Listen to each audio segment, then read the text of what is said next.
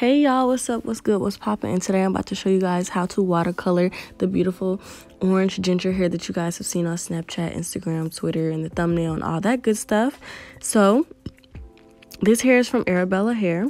This is the cute little pink box they gave me. It came with some goodies, an edge brush, wig cap, a headband, and they also gave me a clip. How cute. And this is the wig. It's 14 inches. The color is 613 blonde. And it came in nice little packaging. Now, the lace construction was um, really well. It had three clips in the front, one clip in the back, and a adjustable strap. The hairline was plucked pretty much well. Didn't have that much parting space though. It was about four inches middle part, and the side part you could probably do about three inches. And now I'm just about to fill this pot up with some hot water.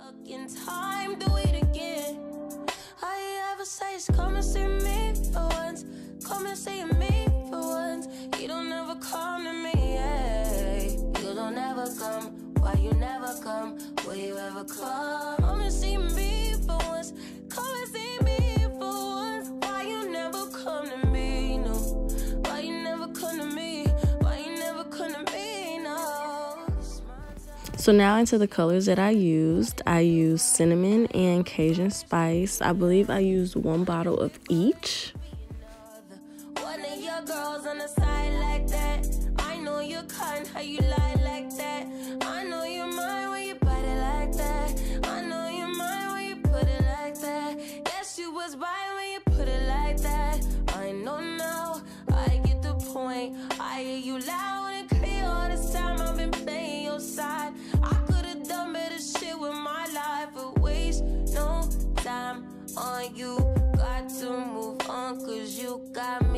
Fucked up. I am confused from this point on. Trust nobody, yeah.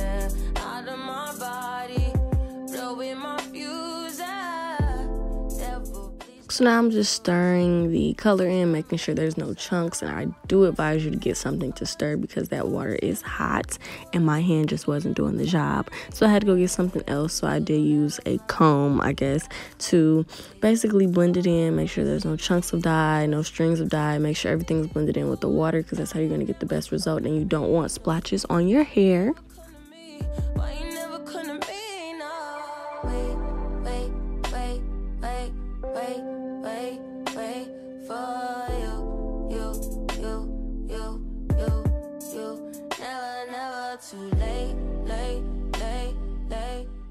So now that that's done, I'm about to use the got2b spray to spray the lace. You don't want the color or the dye to seep through the lace, damage the lace, stain the lace or anything. So got2b spray is kind of like a bonding that makes sure that the color won't seep through.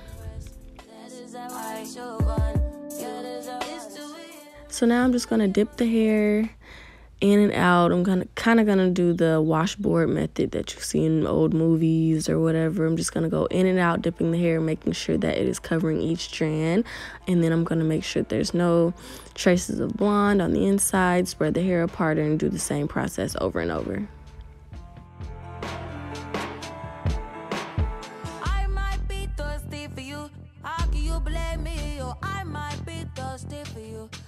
You blame me? Or I might bless your cause for you. How do you want me? I conjure up that coochie for you. Who, who do you need? I might be that hoochie for you. Do you need me?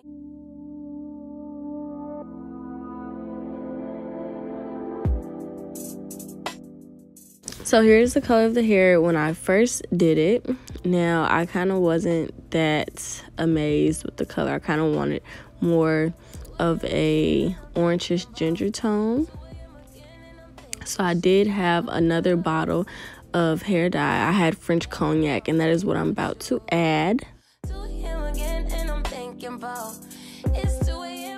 I'm just to wring out the hair, place it on the side.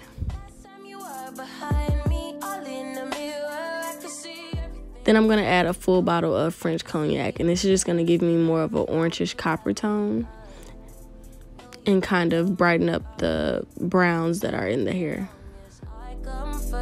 You come on time, I reverse. You rewind, do it again. Stuck in time, do it again. I ever say come and see me for once. Come and see me for once. You don't ever come.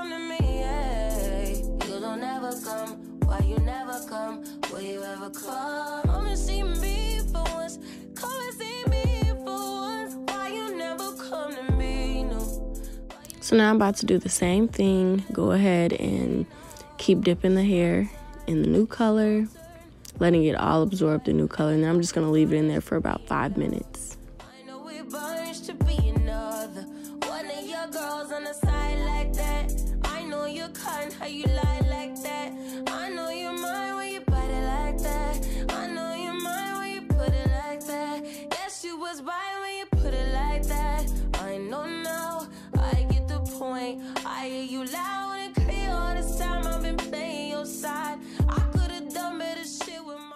So here's the color. I think it came out very pretty. It gave me more of an orange color. I was very satisfied with it. And now I'm just going to blow dry the hair. I've gotten this nice cute hair color. And if you guys want to see more about it, then go ahead and check out my Instagram, Twitter, and Snapchat.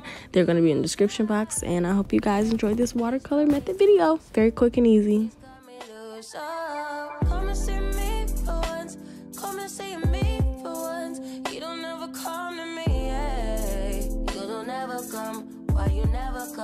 Will you ever come?